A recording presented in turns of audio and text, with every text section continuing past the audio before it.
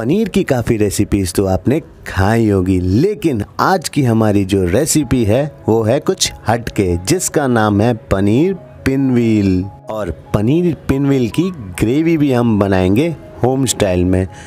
और उसके लिए हमें चाहिए प्याज, टमाटर ग्रीन चिली और काजू। बस ले लीजिए एक सॉस पैन उसमें डाल दीजिए तेल या फिर घी। और डाल दीजिए हमारे स्लाइस किए हुए अनियन काजू टमाटो और ग्रीन चिली। और इन सबको हमें बहुत ही कम पकाना है, ताकि इसका सिर्फ़ कच्चापन का फ्लेवर निकल जाए। और मसालों में हमने डाला है हल्दी पाउडर, रेड चिली पाउडर और सॉल्ट, और थोड़ी खुशबू के लिए इलायची। ध्यान रखिए, हमें इसे सूखा ही पकाना है, इसमें पानी नहीं डालना है। दो मिनट हो गए हैं, ग्रेवी का मिक्सर रेडी हो चुका है, अब इसे ठंडा करेंगे और इसे पीस लेंगे। अब मैं आपको इसके सारे इंग्रेडिएंट्स बता देता हूँ। यहाँ पे तड़के के लिए हमारे पास है देगी चिली और जीरा, फिर है जिंजर गार्लिक का paste red chilli powder garam masala kitchen king मसाला, हल्दी पाउडर और जीरा पाउडर फिर है सॉल्ट अब यहाँ पे हमारे पास है कॉर्नफ्लावर इसकी जगह आप मैदा भी यूज़ कर सकते हैं। फिर है चॉप किया हुआ कोरिएंडर कॉटेज चीज़ यानी कि पनीर, दही, जिसे मैंने फेंट लिया है। यहाँ पे है ग्रेवी जो मैंने आपको वीडियो के स्टार्टिंग में बताई थी। फिर है हमारे पास फ्रेश क्रीम अब शुरू करते हैं इसे बनाना। अब सेट कर लेते हैं हमारी ग्रेवी को और वही काम आएगी हमारी पनीर पिनविल की स्टफिंग में भी। बस फ्राई पैन में तेल डालिए, फिर तड़का लगा लीजिए। होल देगी चिली और जीरे का। फिर डालिए रेड चिली पाउडर और ऊपर से जिंजर गार्लिक का पेस्ट। फिर है किचन किंग, गरम मसाला, हल्दी पाउडर, जीरा पाउडर और सॉल्ट अब इसे अच्छे से कर लीजिए मिक्स पानी नहीं डालना है आपको। आपको स्टफिंग के लिए थिक ग्रेवी चाहिए अभी। फिर ऊपर से डाल दीजिए हमारी होममेड ग्रेवी जो हमने स्टार्टिंग में बनाई थी। और इसे पका लीजिए तकरीबन तीन से चार मिनट तक, जब तक ये अच्छे से थिक ना हो जाए। ग्रेवी हमारी रेडी हो गई है। अब बारी है पनीर की। इसे हम मिक्सर में पीस लेंगे।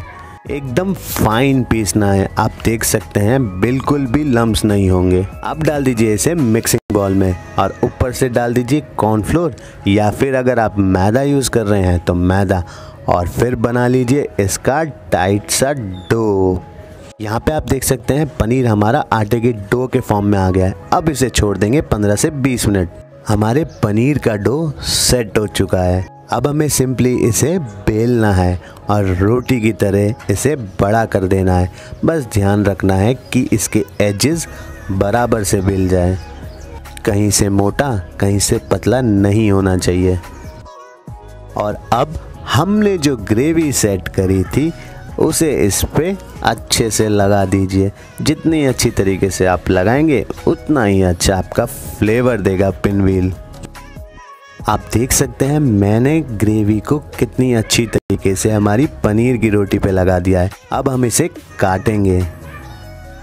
एक से डेढ़ इंच इक्वल साइज़ के अंदर। अब हम इसे हाथों की मदद से धीरे धीरे सेम इसी तरह घुमा देंगे, जैसे हम खांडवी में करते हैं। बस इसी तरह सारे पीसेस को ऐसे ही घुमा लीजिए। ध्यान दीजिएगा, आपको इसे टाइट रोल करना है, ढीला नहीं करना है, नहीं तो ये खुल जाएगा। आपने देखा स्टफिंग भी कितनी अच्छी तरीके से इसमें लग गई है। और रेडी हो गए हैं आपके पनीर के पिन व्हील्स लेकिन अभी ये कच्चे हैं। स्टफिंग हो गई है हमारे पिन व्हील्स की। अब बची हुई ग्रेवी को कर लेते हैं हम सेट इसके लिए हम डालेंगे इसमें दही, जिसे मैंने फेंट के डाला है। दही डालने से आपकी ग्रेवी में थोड़ा खट्टापन आ जाएगा और हो जाएगी एकदम चटपटी सी। हमारी ग्रेवी का कलर भी बहुत अच्छा आ रहा है। येलोइश ऑरेंज अब ग्रेवी को तकरीबन दो से तीन मिनट पकने दीजिए और इसे लगातार चलाते रहिए। जब ग्रेवी में उबाल आ जाए, तब इसमें डाल दीजिए fresh cream. Fresh cream add करने के बाद आप देखेंगे हमारी ग्रेवी में और भी निखार आ जाएगा। ये ग्रेवी खाने के बाद आप खुद कहेंगे क्यों बाज़ार जाके पैसे वेस्ट किए जाएँ, जबकि हम बना सकते हैं घर में उससे भी अच्छा खाना? अब आपको इसमें डालने हैं पनीर के पिन व्हील्स और इसे पका लेना है चार से पाँच मिनट तक, ताकि हमारा पनीर अच्छे से कुक हो जाए। मैं श्योर हूँ, आपने इस तरीके का पनीर पहले कभी नहीं खाया होगा। अब मीडियम फ्लेम पे आप इसे घुमाते जाइए। इसकी ग्रेवी को पनीर के ऊपर डालते जाइए, ताकि हमारे पनीर के पिनविल हमारी ग्रेवी में अच्छे से मिक्स हो जाए। और तीन से चार मिनट बाद गैस को कर दीजिए बंद।